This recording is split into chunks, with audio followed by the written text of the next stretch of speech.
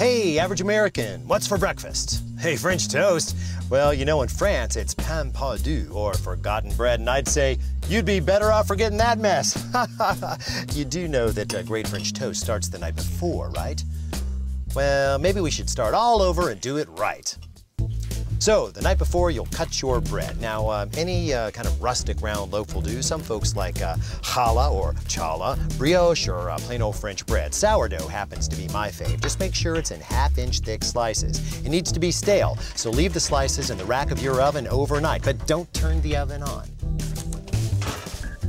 All right, time to build the batter. Get yourself a big mixing bowl and uh, crack in three large chicken eggs. There you go. Next in, cup of half and half for the dairy. That is now technically a custard. One quarter teaspoon of kosher salt goes in and a bit of uh, sweetness from two tablespoons of honey. I like orange blossom. Now just uh, whisk that until it's completely smooth. Uh, no stringiness from the eggs. That looks good. Now we're gonna let this basically mellow in the refrigerator overnight. So we'll need uh, sound containment and try to make sure that it's a vessel that can hold the uh, pieces of bread comfortably.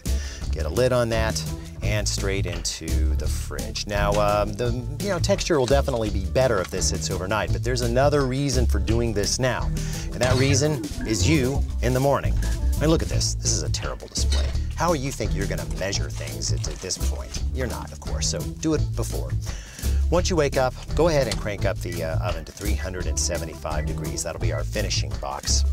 Soak each piece of bread on both sides for 30 seconds, okay? So time 30 seconds. There you go, you're awake now. And then flip the bread. There you go, okay? Flip the bread and do it again. Now you're gonna do this with each piece till they've all been soaked for 30 seconds on each side, okay? Then and only then can you move to the heat portion, all right?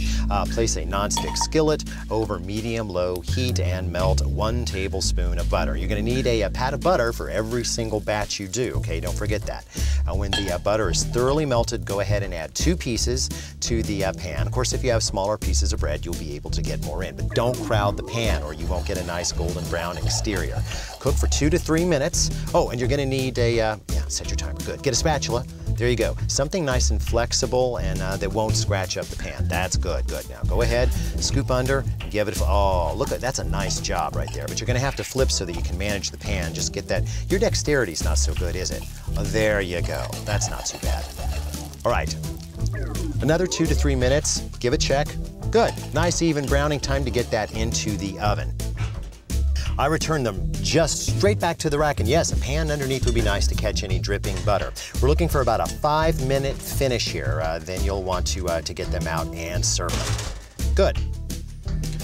Of course, serving, uh, you want to do that with a lot of syrup. And if you're under the age of 10, teeth rattlingly sweet confectioner sugar. Now that is forgotten bread you'll never forget.